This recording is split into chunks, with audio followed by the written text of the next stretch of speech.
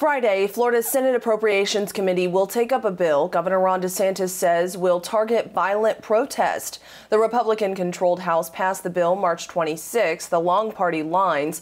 The bill would enhance riot related penalties. Black lawmakers argue it poses a threat to civil disobedience and would not be equally applied to black and white protesters. Katie Johnston for CBSMiami.com.